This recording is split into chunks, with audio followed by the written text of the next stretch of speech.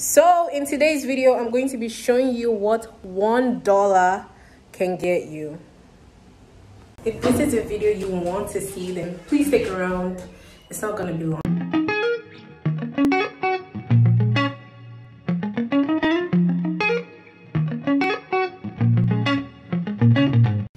A dollar is equivalent to um, 2.8 lari and that is not enough a lot of money. So i'm going to the store anyways to get one thing or two but i'm just going to take you guys around and you guys can see what that can get you. We'll do groceries maybe another day because i don't plan on going anywhere. Then we can do like stores like um fast food or food in general. So it might take me a bit to compile this video. I came at such a wrong time. It's so busy. But yeah probably we'll go to another store and I'll show you guys.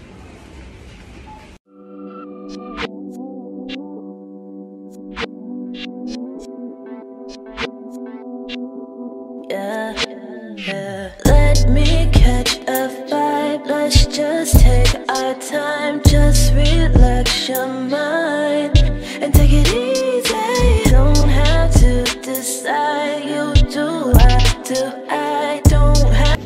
We have sneakers. At least you can get that for a dollar. Chocolate, chocolate.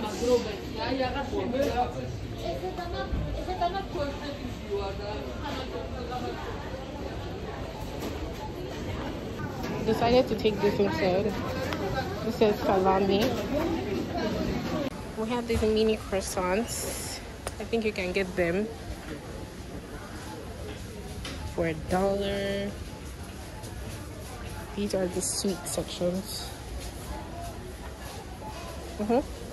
You know, like when you go to the counter to pay for something and then you see a completely different price that was pasted on it, and then you get to the counter and they check it, it's a different price, and it's just too awkward for you to just go back. That's what just happened to me. I couldn't go back and drop the item because I saw a very different price. I was just like, oh, it's not the normal one I get, but yeah if that happens to you let me know but there are days where i'm just like i don't care i'm gonna go back and i'm going to return it but yeah hmm.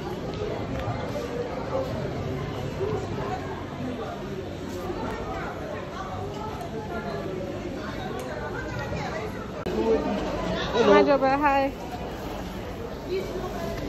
30 kilo. Uh, this one one kilo. Huh? This for one for One. only one. Okay. Let me see.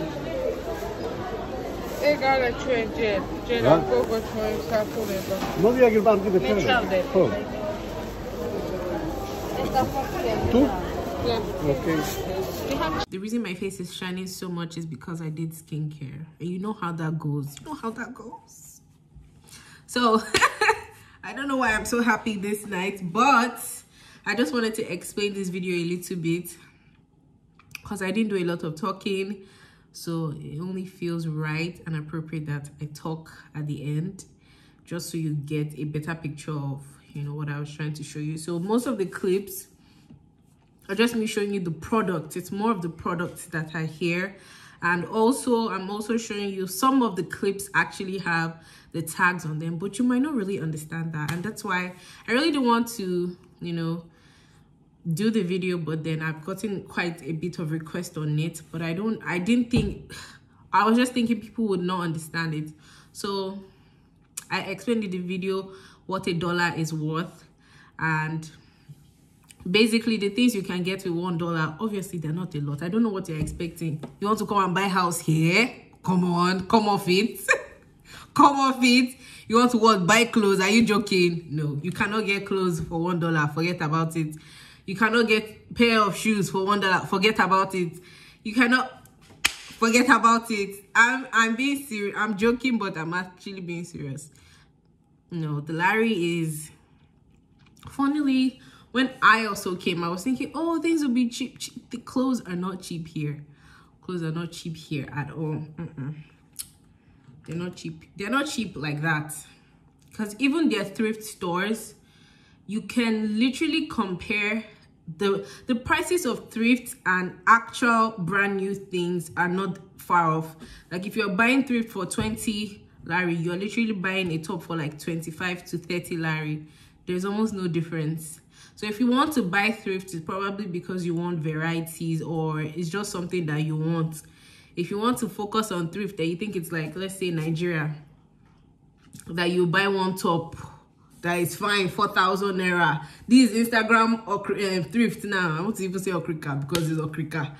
Instagram thrift 4000 maybe if you go to super it's like 2000 forget about it. You will not see that. Like the difference is not a lot. Is sorry the difference in nigeria the difference is a lot if you're buying a brand new outfit and you're buying thrift. But here maybe I've not gone to a lot, but now I'm taking it upon myself to look for more thrift stores. I know about two. Oh, I recorded a video, but I never posted it. It's in all, it's in, that video is probably sitting in all the videos I've accumulated and never made it to this space. But I'll make a proper video just visiting the stores and show you guys, showing you guys the location. Not because I really have anything to purchase but i will do that video. Also um yeah what things are when it comes to food items they're not so expensive. They're not so expensive. If it's foreign imported then it might be. But like food items you can get apples for less than one dollar more than at least nine ten for more than one dollar. You can get basically food items are the things that fall under the proper one dollar category. Uh sweets edibles things like that they can't fall up under that category.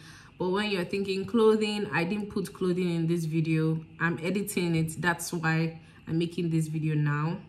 I didn't put clothing because who are you? Who do you who do you think you are that you want to buy clothes one dollar? Eh? Who you are. No there's nothing like that. There's nothing like that here. Yeah so if you're looking for anything cheap under one dollar it would be pastries food local foods here all them you know. Even those they're a little over a dollar but let me just put everything under a dollar. So yeah that's basically it. And for the markets hmm this topic is a bit one way for me because like I, I don't mean supermarkets now i mean like actual markets. I don't really go to actual markets often. I only go for like one or two things and those two things or one thing i stay months before i have to bring it again. And when i go i just go and get that one thing. I haven't really gone around for food items. No i haven't really done that. And the reason is because most places most markets require cash and i never i i almost never carry cash.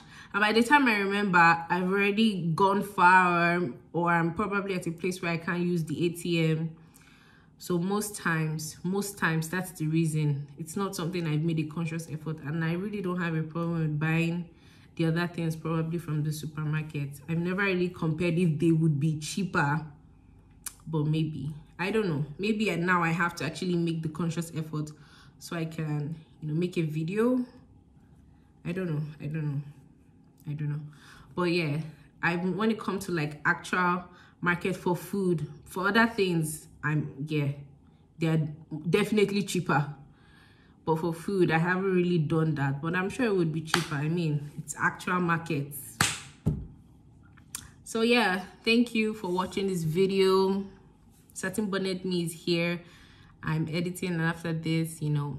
Hopefully you guys see this video as soon as possible. And sorry if the clips are all over the place. Forgive your little youtuber. Anyhow thank you for watching and i'll see you guys in another video